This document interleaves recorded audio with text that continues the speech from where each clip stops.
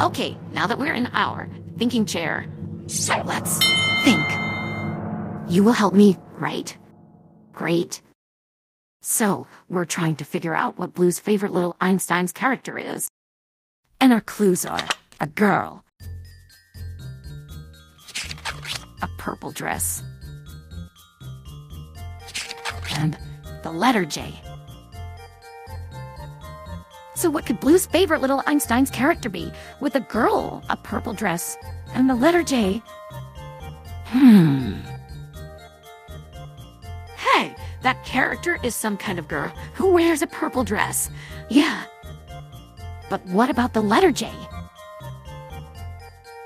Maybe her name starts with letter J.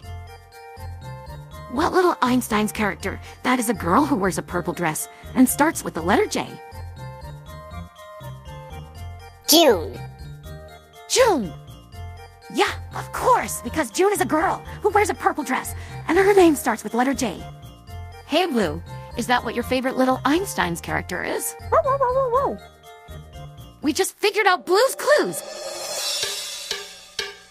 We just figured out Blue's Clues. We just figured out Blue's Clues. We just figured out Blue's Clues because we're really smart.